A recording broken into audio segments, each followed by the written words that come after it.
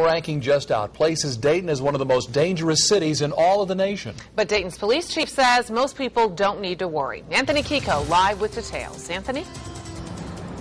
Dayton ranks 20th among the 400 cities in the CQ Press crime rate rankings. The methodology behind those rankings included six different crime categories.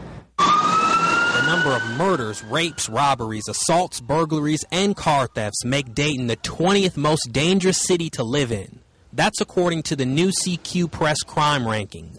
I believe it. Vanessa Sikoski has lived in Dayton all of her life and says crime in the city is bad. I have friends that live downtown, and their their cars get broken into on a regular basis, and I've heard some really terrible stories. But the city's chief of police says people don't need to be afraid. For the average citizen, they can go through the city day in and day out and not have concern about being a crime victim. That said, Chief Biehl admits criminal activity is a problem in Dayton. There are certain areas in the city where crime does aggregate. Walking to and from my car, I feel nervous.